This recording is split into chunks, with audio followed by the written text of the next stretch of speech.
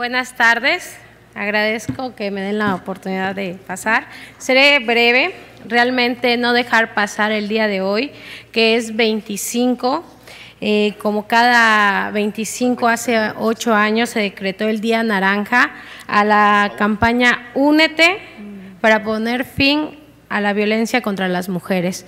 Más que nada desde esta tribuna, sumarnos a esta campaña que sensibiliza para erradicar la violencia hacia la mujer, no tanto física, sino también verbalmente, ¿no? Y pues sumarnos al Día Naranja con algún tema que ustedes requieran, como cada mes, puede ser con vestimenta y sensibilizar a las demás personas. Por mi parte es todo. Gracias.